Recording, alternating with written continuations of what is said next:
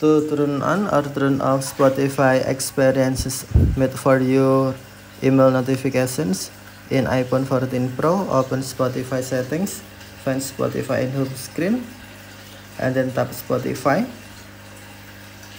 Next tap settings icon and then scroll down settings screen find notifications. Next tap notifications and then tap Spotify experiences made for you on where you will receive notifications tap email switch until green to turn on or tap switch until green to turn off. Find Spotify experiences based on your listening. Tap email switch until green to turn on email notifications or tap switch until green to turn off. Okay thank you for watching. Have a nice day